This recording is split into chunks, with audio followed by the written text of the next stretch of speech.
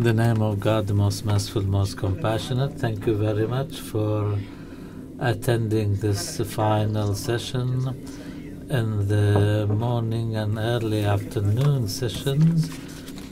We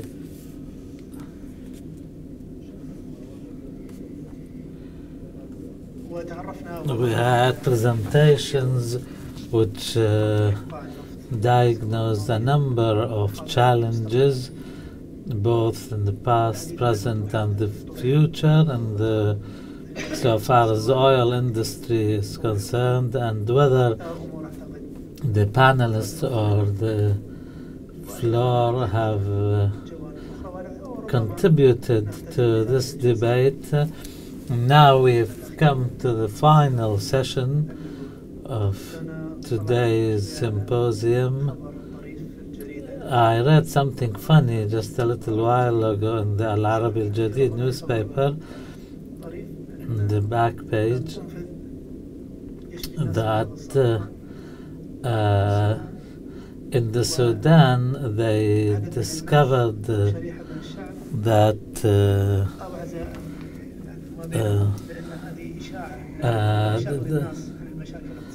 the, there is an animal which cures people from cancer, people thought that this is just a publicity stunt by the government uh, so that people forget about their problems and stop questioning the government about the real life situations. Uh, by this, I don't mean that this is what we're trying to do here in this symposium, but I just want to remind everybody of the important uh, debate we've started this morning about the oil prices and uh, the aspirations of uh, oil producing countries, especially the Arab oil producing countries. They've attempted to learn in the past, but uh, unfortunately it was a very costly learning curve and they may have learned the alphabets of the situation but not real solutions it seems we have with us Dr. Hassan and Dr. Mamdouh neither of them needs any introduction we'll give them 10 minutes each to talk about what uh, they deem important uh, so far as the challenges are concerned. And uh, then we open the floor for debate, hoping that we will finish at five o'clock exactly.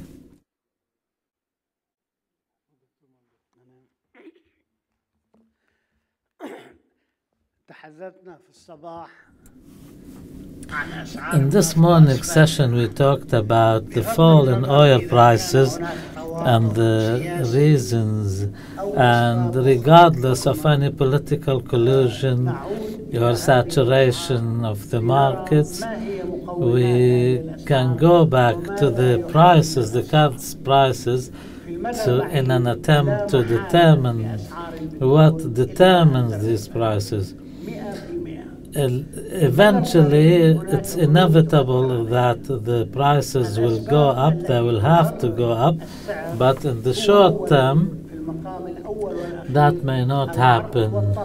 What determines the prices uh, uh, once and foremost is supply and demand, and this in turn relies on the economic situation, and this is a fact of life. And my presentation this morning, I said the oil price looks like a coin. One side uh, is political, the other is financial, and the geopolitical aspect cannot be ignored. And uh, there is another important issue, which is technology. And I'll give an example here that we, since this morning, have been talking about American shale gas.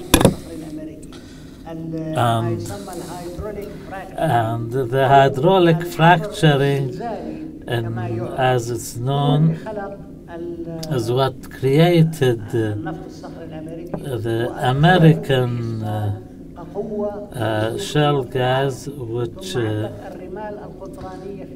and we have also in, in Canada we have a technology which makes Canada the biggest uh, exporter of oil to the United States. In fact, uh, South, there was a time when Saudi Arabia was the number one uh, exporter. Now Canada pushed Saudi Arabia to the fourth place. Now the oil prices go through a difficult patch whether it's political, I'm fully convinced that there are political factors playing a role behind the fall in oil prices. Now, what impact will this fall in the prices have on the world economy? The world economy, we said this morning, cannot coexist for a long time with this fall because the pillars like international investment and especially investments in the oil and gas sector. In addition to this, the major oil companies, the seven largest in the world, represent the, the biggest part of the world economy. Then we have the economies of the oil producing countries. They say there is this, the market is satur saturation. American shale gas did not create this saturation because the United States is still importing 7 million barrels and is not going to achieve self-sufficiency if uh, no matter how much shale gas it produces. Now it produces between six and a half to seven million barrels a day. It imports more than that, but uh, some of it goes to refineries and uh, uh, refined and sold again. And uh, now because of the impact of the oil prices on the Arab Gulf countries, they have to do whatever means they have possible to reach an agreement and OPEC when it was established and many know that when it was established in Baghdad in 1960 the aim was to defend the interests of its members against major oil companies who used to have a monopoly on the market and they discovered that they, in order to protect their interests and defend them, they uh, invented this, quota system. It's true that uh, shale gas has contributed to saturating the market, but uh, uh, this, this is the overproduction comes from the overproduced oil by OPEC above their quotas. OPEC now produces 32.10 million uh, barrels, and in June this year, they agreed that the maximum should be 30 million, so 2.1 is an, million barrels is an extra. So if this um, overproduction cut, then the situation will change. And if we continue this trend, I have a previous study in which I said if the GCC countries uh, continue down this path, now they consume 33% of their own production and this production goes on desalination plants, some 2,000 in the area. and in producing electricity. So if some sort of diversification of the economy takes place and uh, uh, they start using solar energy, they can extend their uh, uh, their oil reserves and uh, second and uh, the other thing is a country like Qatar have the highest income per capita in the world, followed by the UAE and Saudi. These are very high incomes. They can remove subsidies completely if they do not want to create problems with their population, that can face that in over a period of three, four years. Uh, this will help cut expenditure and uh, help to sustain this important source of natural wealth. So they should stop this wastage and at the same time uh, increase production and uh, increase their exports. So going back to the oil prices, OPEC can stop if they decide tomorrow to reverse the decision by Saudi Arabia or by uh, OPEC. Our friend Mohammed al-Shatti said OPEC agreed unanimously. OPEC agreed reluctantly. And are you telling me that Iran, Algeria, Venezuela, and Nigeria and other members agreed to that? No, they have not agreed.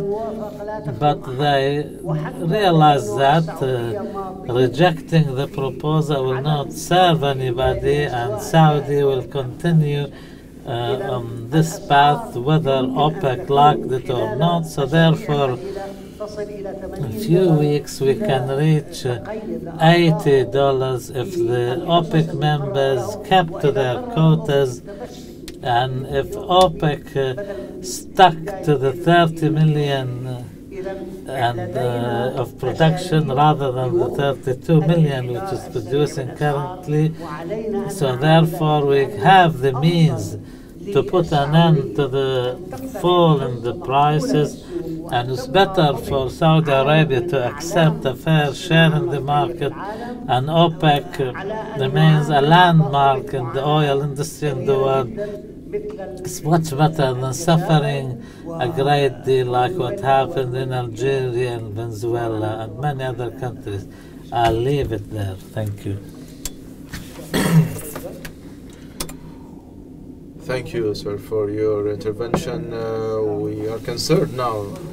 uh, the oil prices are going to rise. Uh, we're going to go fill our tanks. Uh, usually, the government surprises the people here in Qatar and in the Emirates, uh, there's the element of surprise. Today it's one price, tomorrow it's going to be a higher price. I am in complete agreement with you. I think uh, that we all agree that uh, the prices of uh, the petrol is uh, uh, low and rationalization is very important. Dr. Hassan Aly, 10 minutes, please. The floor is yours.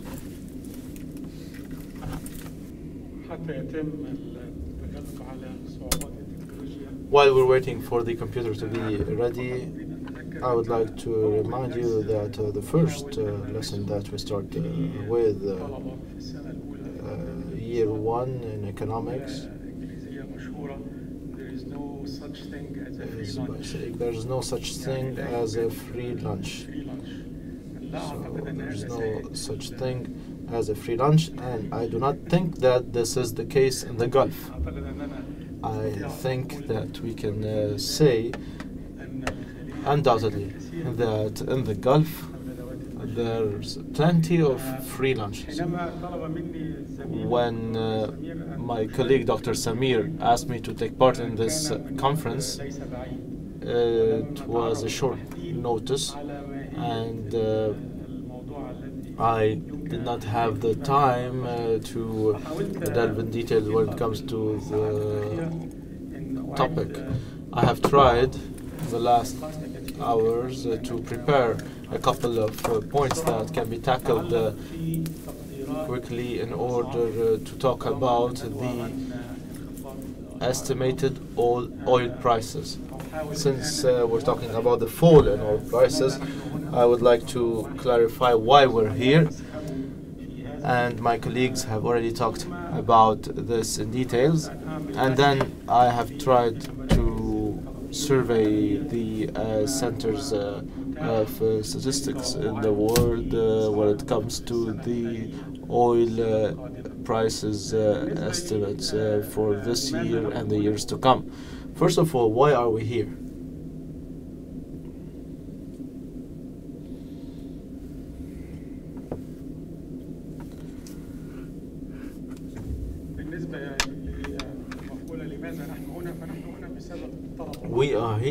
because of supply and demand. I not disagree with uh, Dr. Mamdouh. Uh, it's all it all falls under demand. Whether we're talking about the technology of shale, the shale oil,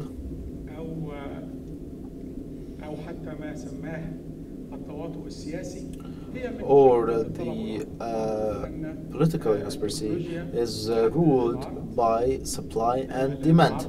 Technology determines the supply. Supply is uh, with different prices, and uh, technology. With the advance of technology, you can produce more with the actual cost, which means that there will be a shift uh, when it comes to the supply and the prices will fall. And there's also tests.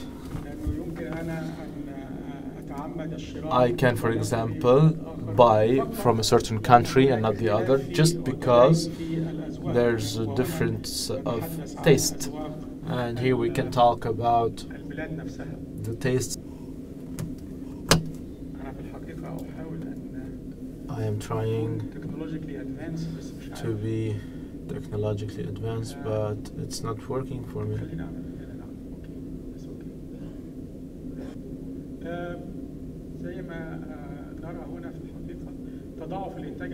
As you can see, the U.S. production uh, has increased during the six months, which reduced the revenue, and uh, it has uh, become in need of a new market and other exporters, the oil from Saudi Arabia, Nigeria, and Algeria that were used to be sold in the United States is in competition with the Asian markets, which uh, means uh, a lot, and uh, it resulted uh, in uh, reduction of the prices also the uh, there was a rise in the production uh, and the exportation of uh, oil uh, uh, from Canada. The U.S. is not only a producer but also, but also an exporter. If we survey the current uh, estimations, we think that there will be a reduction of the U.S. production and there are other countries uh, that are oil producing countries uh, that will face a fall in the investment because of the decrease of the prices. There's also a slow uh, growth, whether in China or Europe. The recovery is slow. Everything that's happening now refers to a mixture of uh, falls, which means that uh, there will be a decrease in uh, the oil prices. It will become a self-fulfilling prophecy. The current analysis uh, refers to some uh, stimulation that can happen at the end of this year. However, uh, in 2016 there will be a fall as well. The slight increase uh, will be in the 50s to 60s because of the season and uh, the climate, uh, the weather, actually, the weather in the US, uh, the increase of demand because of uh, the need uh, of the market in the US. The first half of 2016, the market will witness a reduction again. Let's say there's an increasing demand and uh, the Iranians, uh, should they go back to the pre-sanctions era?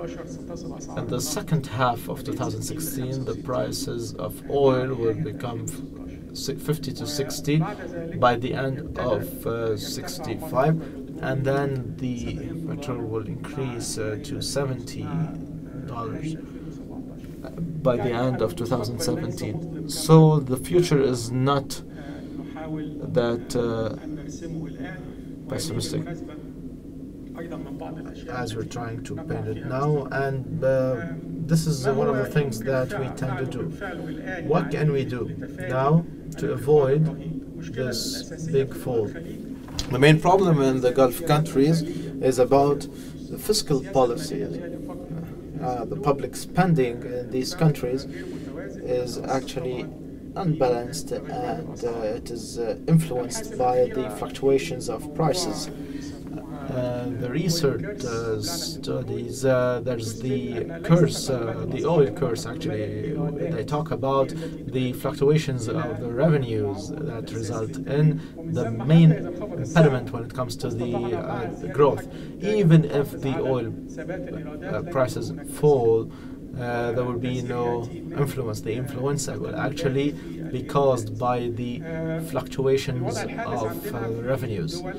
The actual situation in our country is uh, that during uh, the days, uh, uh, the good days, there's increased public spending, and when the days are bad, the cut of public spending is not planned for. Some has, uh, advances have been achieved since the 70s uh, during the first crisis or after the first crisis, uh, oil crisis. And I think Kuwait was the first country in the world to create this sovereign fund, and it uh, created this fund before Norway.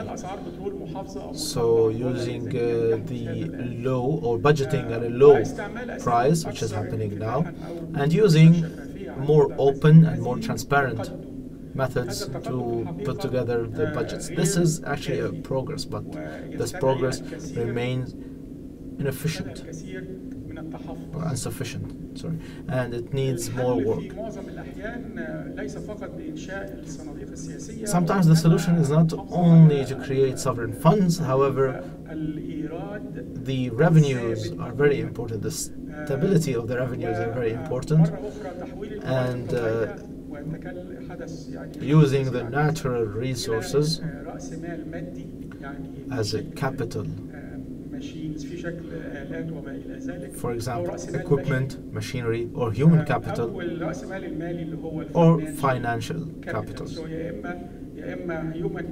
So either human capital, physical capital, or financial capital, and this is not happening actually now.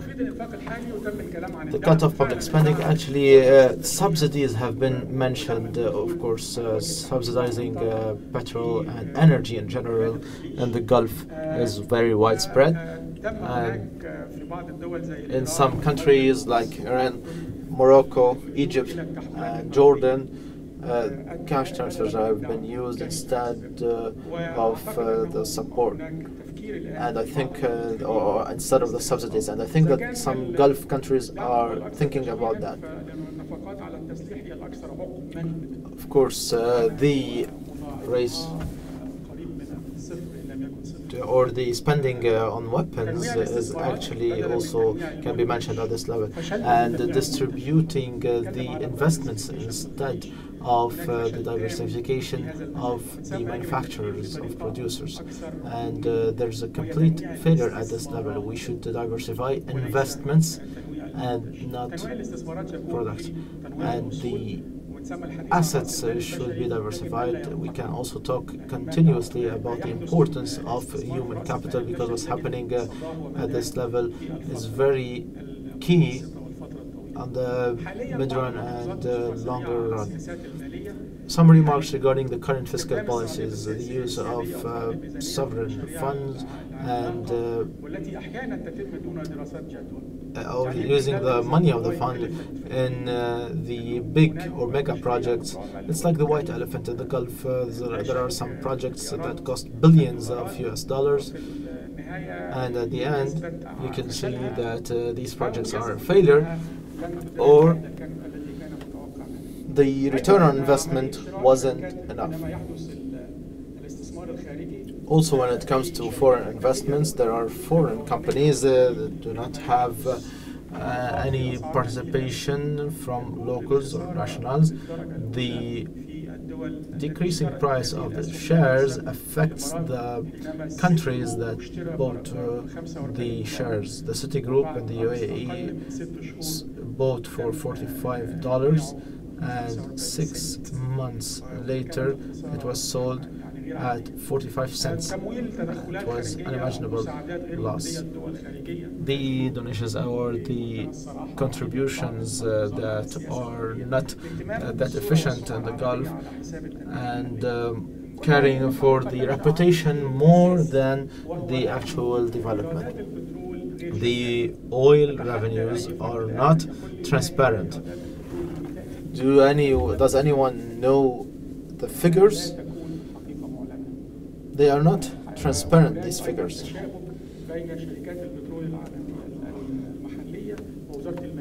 There's also some conflict between the companies and the ministries of finance. Who's the decision maker? And there's also a blurring of the line between what's public and private sector. If we do not overcome these real, genuine problems, I think we will still be confused after years. Thank you.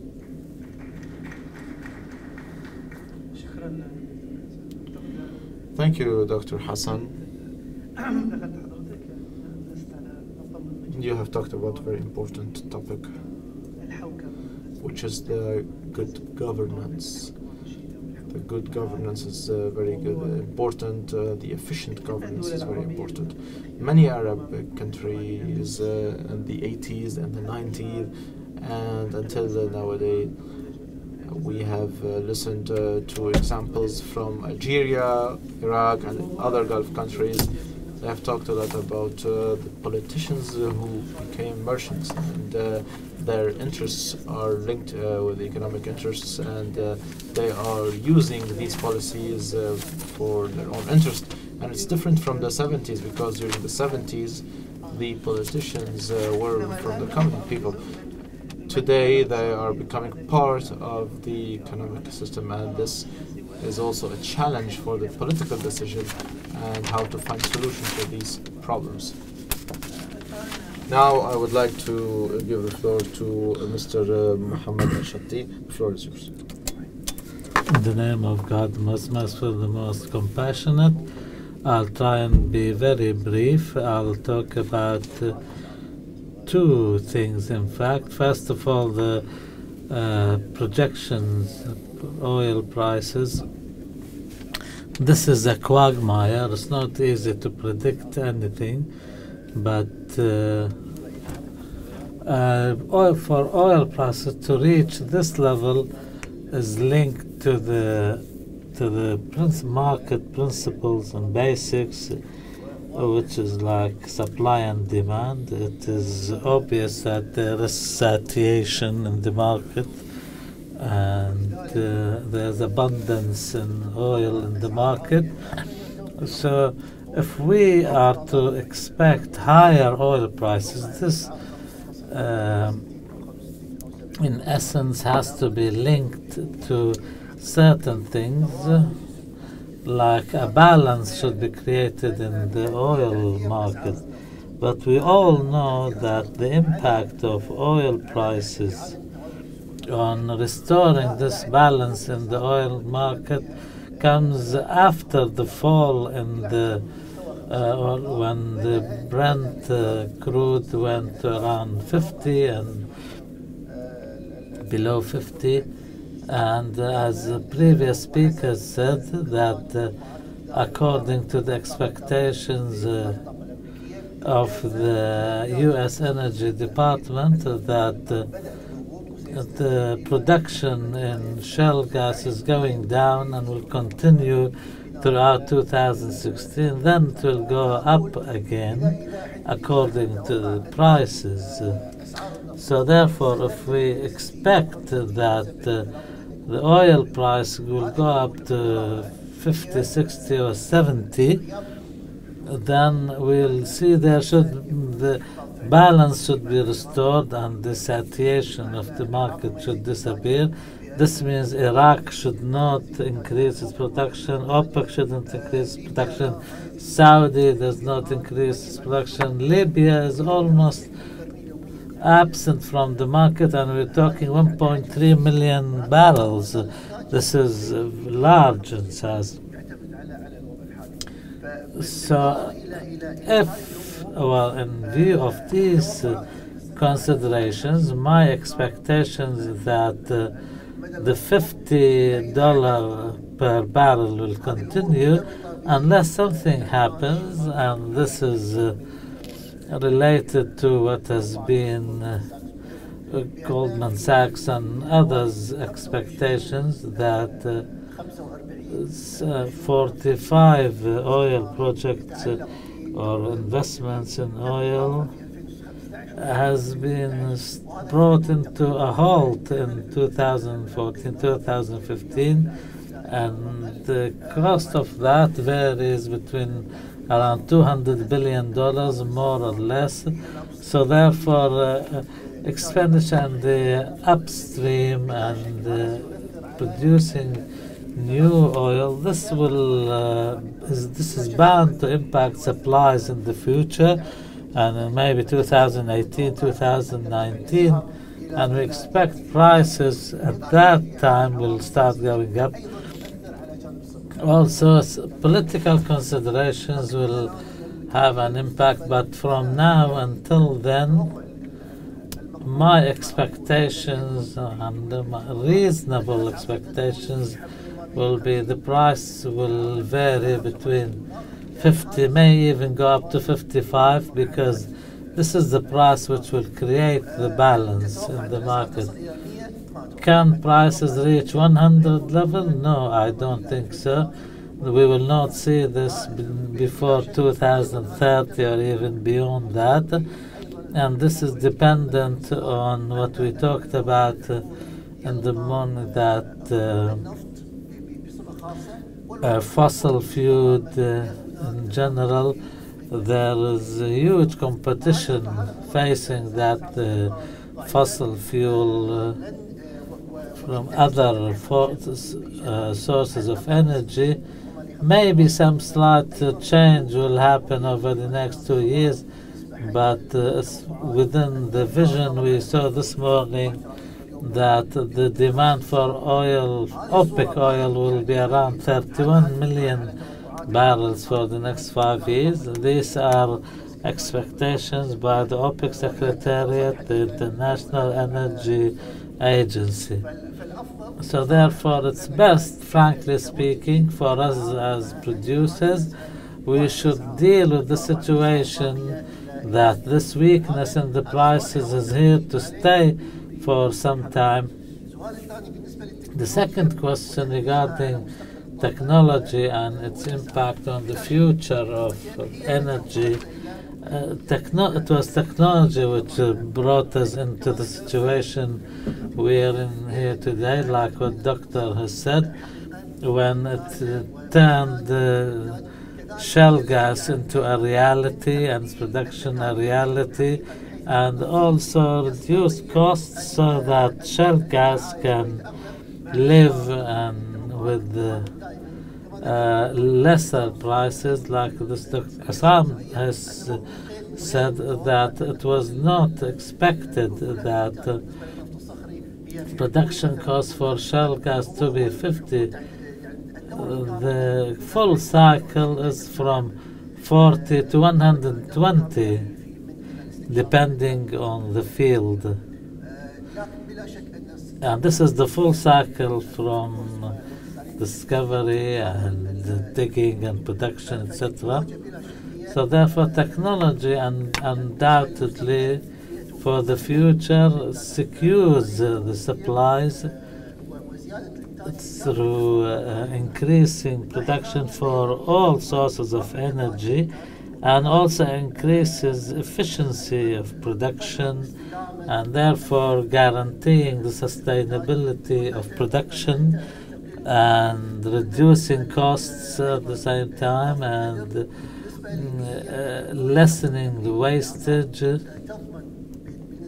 lessening emissions and also Kuwait, uh, for example, one of the things that we pride ourselves in is for burning gas was 18%. Now it's around 1%.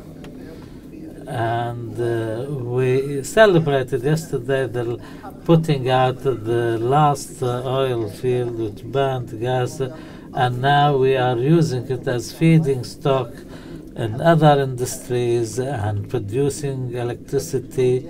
And this is all due to technology, the reduction from 18% to 1%. Technology also uh, makes using solar energy a reality. The renewable energy sources, uh, wind, solar energy, etc and uh, for road transportation systems is, is not there because of the high costs of production of these uh, sources of energy.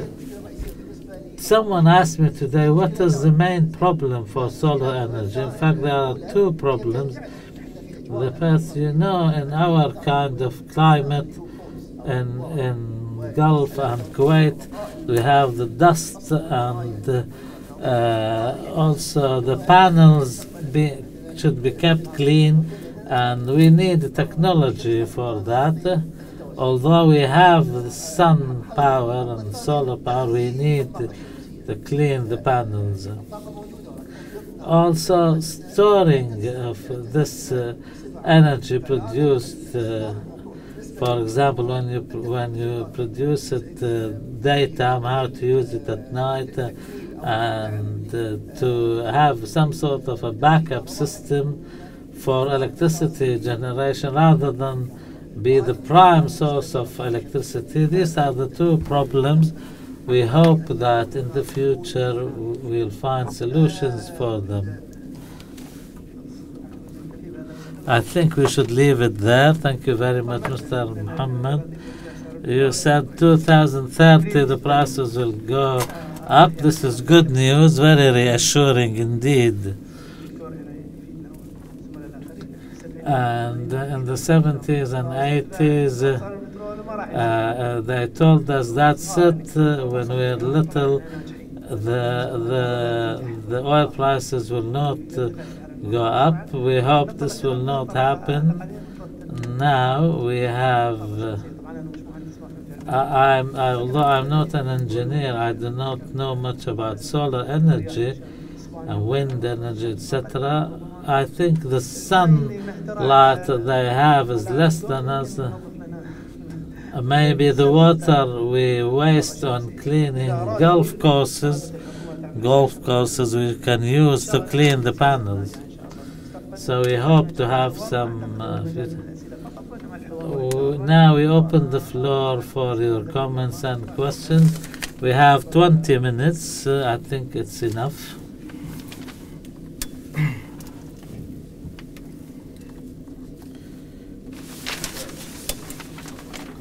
Thank you. many points have been tackled. I would like to ask questions during these two minutes. I have uh, a lot of uh, questions in general. What comes in the post-oil era? Is it the diversification of products or investments? Is the diversification of investments uh, enough uh, abroad or buying U.S. bonds? Uh, can it be considered a source of revenue in the future, especially the U.S. bond? A lot of uh, a lot of uh, experts are saying that this is uh, uh, uh, the, the U.S. Treasury bonds. the, the, the treasury bonds, uh, uh, the U.S. treasury bonds have no value. So this uh, is creating the awareness, and then uh, we have the liquidity. Liquidity is there, and then you should uh, determine. Uh, uh, the correct sectors, but it needs uh, analysis.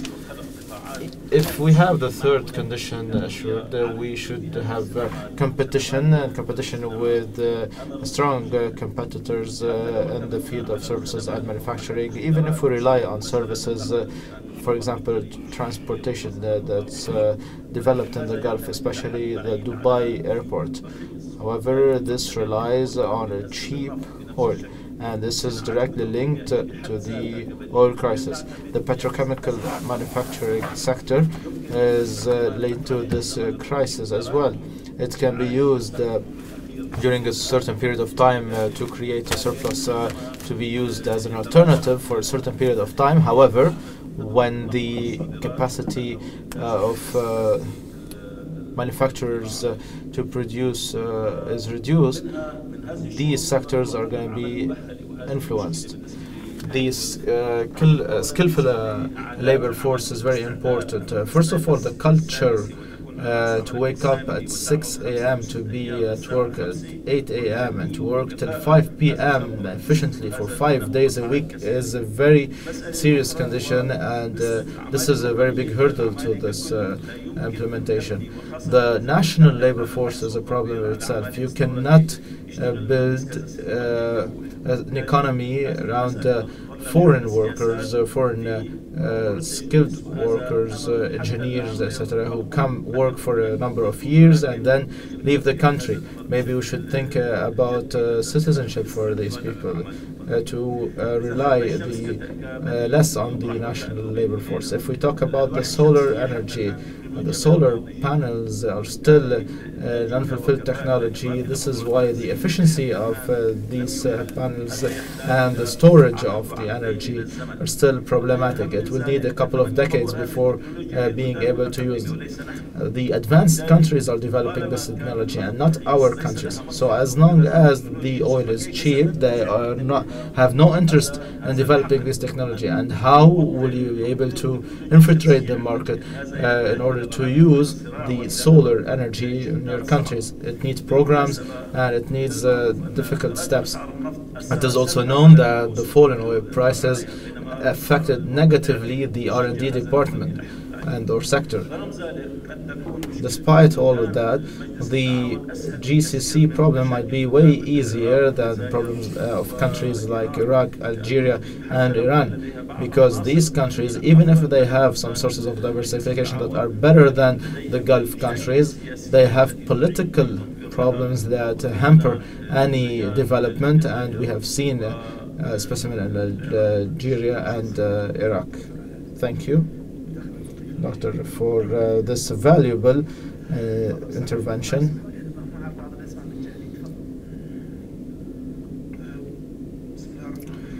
In the name of God, uh, I would like to thank you all for this valuable information that you have presented. I have a question. There's, it seems that there are two schools of thought. The first one says the OPEC produces 32 billion more than, or two, uh, uh, 2 billion more than the uh, agreement, initial agreement. If the OPEC countries uh, decide to reduce uh, the production, the oil prices will rise. The second uh, party says uh, that if uh, OPEC will leave uh, any uh, vacuum, it will be filled by other producers. So, where is the? How can we understand this? Uh, this uh, topic. Dr. Ali, thank you for this, uh, for saying what uh, I had in mind. Before any crisis or any problem in normal uh, situations, before the fluctuations, when the oil prices uh, used to increase, they used to say this quarter we had a rise in oil prices because we are in, uh, we're going to see a lot of typhoons and uh, bad weather in the United States. This is why the uh, U.S. oil uh, reserves are going to be less. This is why the oil prices increase. But this happens every year.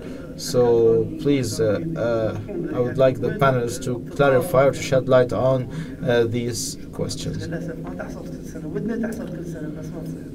We want them to happen every year, but they don't happen every year. Though. one last question or intervention. Please allow me to give you an idea about what happened. Dr. Mamdouh Salameh uh, insists on accusing Saudi Arabia for being the main reason behind the fall in oil prices and uh, OPEC as well. In 1973, there was the first oil crisis. What happened then is that the United States and Europe took measures to limit uh, reliance uh, on oil, total reliance on oil, particularly coming from the Middle East. Uh, it created the International uh, Energy Agency and uh, it encouraged uh, digging fields other than the OPEC countries in Africa and South America and it encouraged any country to look uh, for any possible oil resources. Uh, they uh, put together a lot of studies and researches uh, to improve uh, efficiency and, and transport because they use a, a big share of oil consumption. The second crisis was after the Islamic Revolution in Iran. Prices increased to more than 30, 36 or 40 US dollars. Even uh, at that time, Carter stated that uh, he used to say that uh, the OPEC should be obliged to produce at least 30 million barrel a day because we need that oil, not because uh, we like the OPEC, but because the uh, international agency, energy agency, uh, couldn't fulfill its mission. His Excellency Mr. Abdullah Ali said uh, that during the meeting of OPEC in London, for the first time, uh, was uh, discussed and quotas were discussed, but uh, the members did not agree upon that, and they later agreed in Vienna. When it comes to production, production was falling because other areas, other regions, started to produce. Uh, so the OPEC production became 16 million barrel a day, and the prices fell to less than 10 US dollars per barrel. The Saudi production, and I'm not here defending to defend Saudi Arabia or any other country. Saudi Arabia was defending the price and not the share. That was the decision of the OPEC. The production of Saudi Arabia became less than 2.5 or 3 million barrel a day, and it could barely be enough to uh, uh, to uh, su- support the industrial needs of the country. And this is how the Saudi position was born. I will not uh, accept to uh, do the same thing again. During the last OPEC meeting, Russia attended, Venezuela too, and Mexico. They were trying to uh, push OPEC to reduce production. They had meetings with them. They said if we decrease the production, everybody should take part in this. And he did not mean Qatar, Algeria, other countries. He talked. Uh, they talked about uh, big producers. 60 to 70 countries produce oil, but talking about Russia, they're talking about Mexico, and all country, when they talked about all countries, uh, some countries refused. Russia talked about uh, uh, dire economic situation and they cannot uh, reduce uh, the production. Mexico did the same. So OPEC countries, as I have said in the morning, does it mean that one or two countries, maybe Saudi Arabia, UAE, Kuwait, would reduce, partially reduce production, then who guarantees that the other oil producers are going to fill the gap? Iraq, I'm telling you, Iraq would attempt to take the share because they would say, uh, Iraq would say that Saudi Arabia took my share from the 80s. The same is going to happen in different countries. Iraq, the strong ally of the Iranian re- regime, was called upon to reduce to, to reduce the production because Iraq took the share of Iran. So how would you guarantee that uh, this reduction of the production is not going to be filled by other oil producers, whether from within the OPEC or outside? Why not apply this in Russia, US, or Mexico? So the only solution would be to cooperate. These countries should cooperate on common grounds and interests. Russia, Saudi Arabia, and other main oil producers in order to reduce the production. it is not correct to accuse OPEC uh, or accuse Saudi Arabia or any other country specifically. Uh, any last question before we move to the to the answers?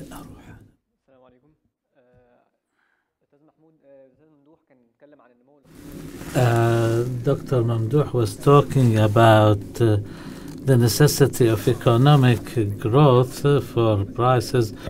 China has announced its five year plan and said the economic growth rate expected will not be more than 6% or so. so what what can we now uh, supposed to happen? What are your expectations? What will happen in Europe and Latin America? And is there a fair price for oil? Is there a fair price for oil? And also the technology. Mr. Mohammed Shatti talked about technology. Technology also uh, has impacted uh, the production of uh, engines for cars. They are more economic. Uh, but don't believe everything. Listen to what Volkswagen said.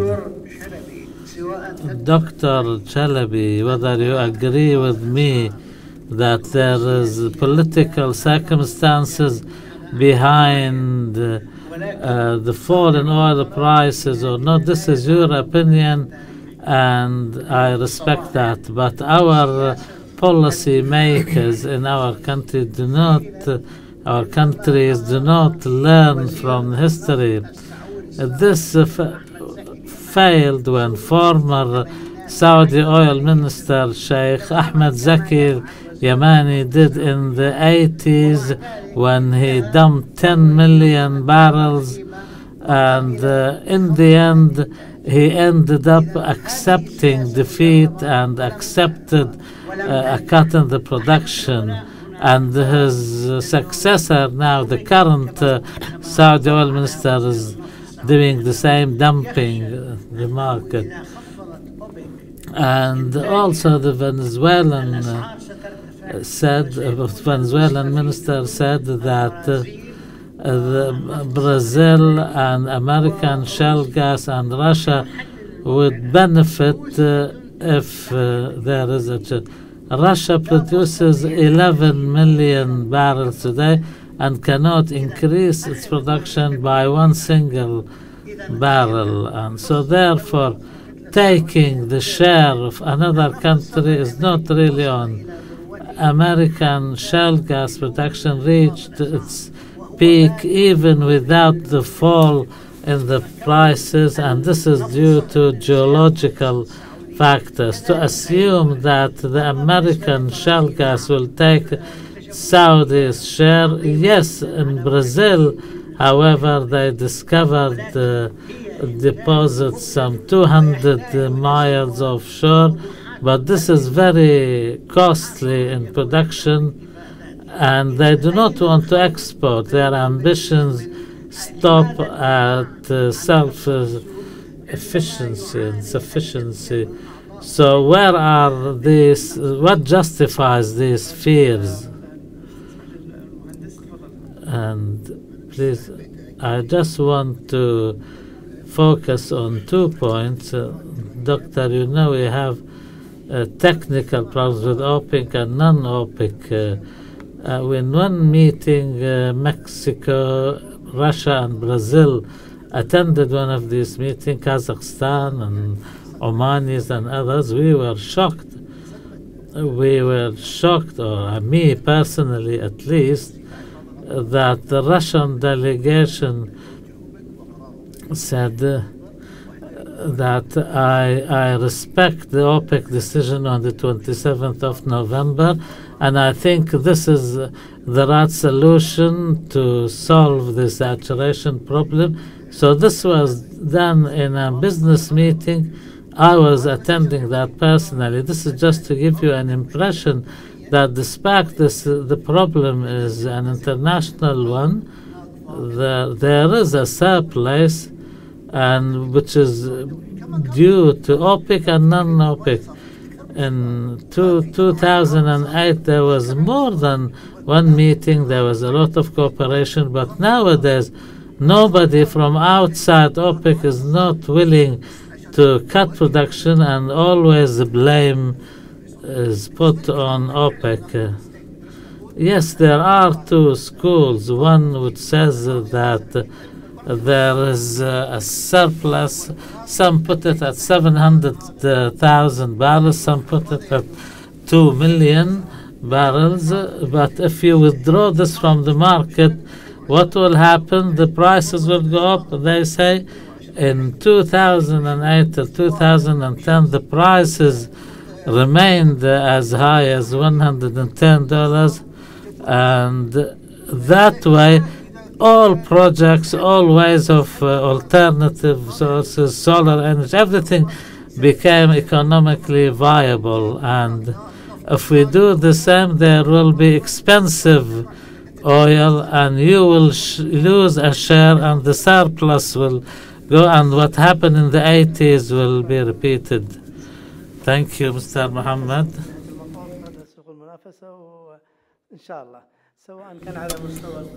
So uh, this is competition whether at the local level or the international level. So comment before uh, going back to you. The floor is yours.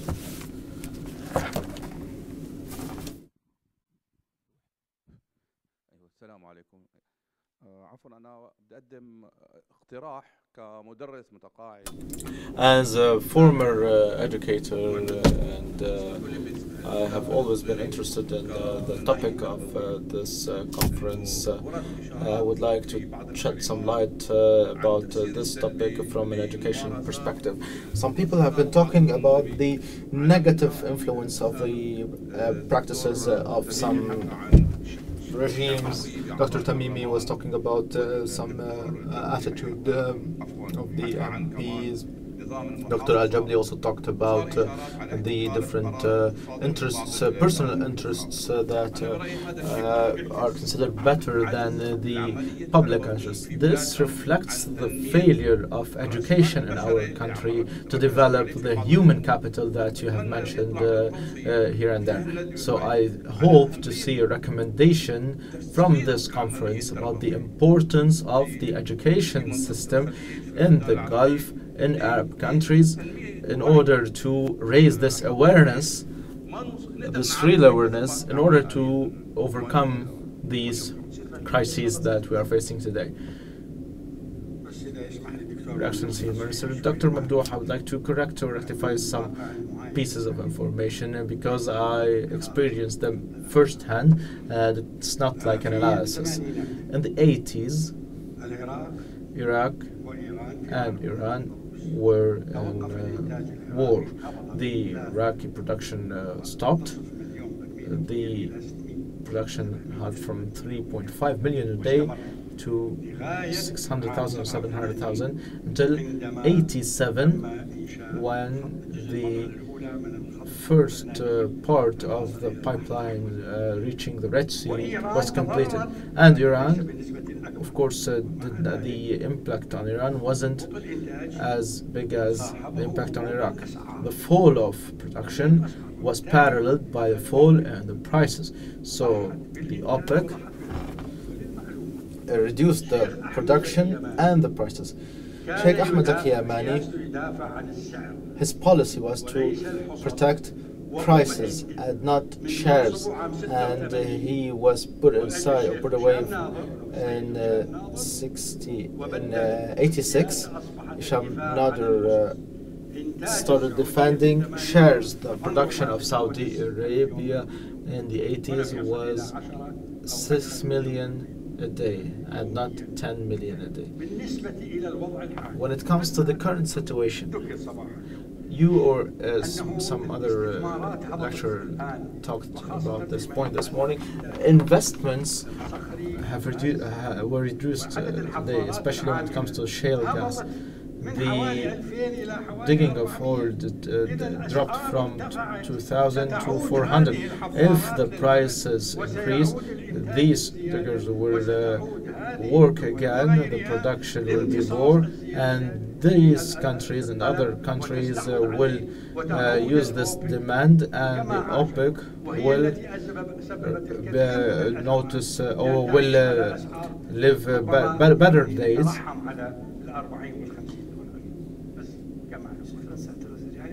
Thank you, Mr. Minister. Uh, so at the end of this uh, session, uh, we are more concerned now because uh, you are talked about the old days being better. Uh, thank you for the time. I would like to thank you all uh, for being here with us, lecturers and uh, uh, lecture speakers or participants, for these valuable opinions and for good listening, whether now or in the morning. And hopefully, we will see you in the future. Thank you. Good afternoon.